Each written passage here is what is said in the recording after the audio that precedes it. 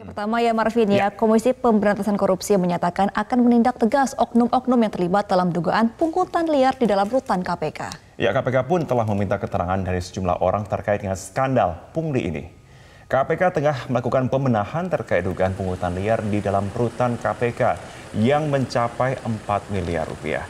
PLT Deputi Penindakan dan Eksekusi KPK Asep Guntur menyampaikan ada dua hal yang perlu dibenahi, yakni sistem pengelolaan rutan serta personel atau sumber daya manusia.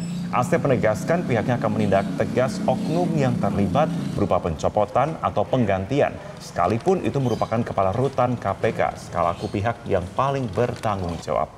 Asep juga mengonfirmasi jika KPK telah memintai keterangan dari 20 orang terkait dengan pungli di rutan markas anti korupsi ini. Sebelumnya Dewan Pengawas KPK menemukan adanya dugaan praktik pungutan liar di dalam rutan KPK. Ketua Dewas KPK Tumpak Hatorangan Hapanggapian menyatakan temuan tersebut didasari atas inisiatif penyelidikan yang dilakukan oleh pihaknya setelah mendengar informasi adanya pungli. Sementara anggota Dewas KPK Albertina Ho menyebut bahwa praktik pungli ini mencapai 4 miliar rupiah terhitung sejak Desember 2021 hingga Maret 2022.